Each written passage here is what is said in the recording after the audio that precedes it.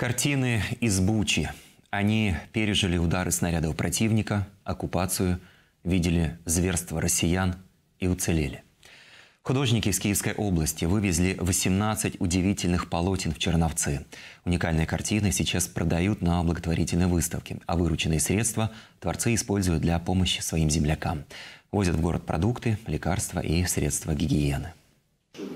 Это полотно, которое называется «Возрождение», Максим написал за несколько дней до начала полномасштабной войны. Когда российские войска заходили в Бучу, ему с супругой удалось эвакуироваться. В их дом попал вражеский снаряд, но картины уцелели. Саме в наш, ну, Заводська, окремо. Именно в наш райончик, переулок Заводской, туда зашли россияне. Они застрелили соседа нашего прямо в дверях. Сусіда нашого просто в дверях. Когда он шел домой, до сих пор это простреленные двери Вбили другого сусіда, який готував їжу. Убили второго соседа, который готовил еду на кирпичах. Їжу цих е, Этих соседей потом похоронили другие соседи за домом. В наш дом попали снаряды, полностью выгорело три этажа. Везде гуляет ветер. Ты смотришь и видишь небо. дивишся і бачиш небо. Сейчас там все разрушено. Бучу теперь не узнать. Перед глазами этих людей даже сегодня, те первые дни российского вторжения. Максим и Анастасия решили вернуться в дом, потому что в квартире остались их птички. Вспоминают, этот шаг тогда мог стоить им жизни. Вернулись за птичками, а в момент, когда мы зашли в квартиру, там на четвертый этаж, Максим мне кричит «Ложись, летит, гудит, что-то страшное».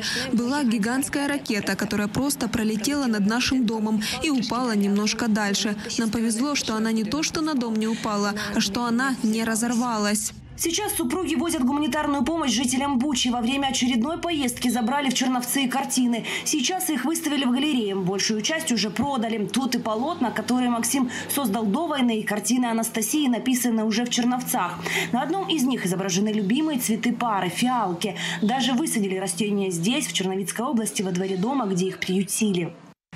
Через волонтерство все время сталкиваешься со смертью, горем, бомбами. Происходят все эти страшные вещи відбуваються ці страшні речі. І тут И якісь тут такі такие, как яркий лучик. И так оно полилось.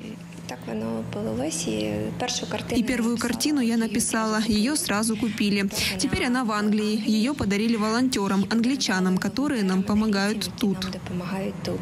Анастасия мечтает высадить фиалки во дворе их дома в родной Буче. Ведь пока Украина цветет, она непобедима.